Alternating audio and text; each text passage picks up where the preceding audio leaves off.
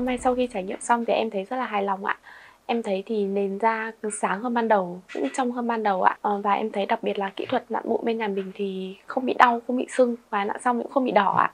Em thì cũng từng đi điều trị mụn ở nhiều nơi rồi nhưng mà kỹ thuật bên đấy thì nặn mụn xong thì mặt bị đỏ và bị sưng và rất rất là đau. Em thấy Ngọc Ánh Spa là một cơ sở uy tín, chất lượng, dùng sản phẩm tốt và có nguồn gốc rõ ràng. Em nghĩ đây sẽ là nơi mà em và mọi người ghé qua chăm sóc thường xuyên.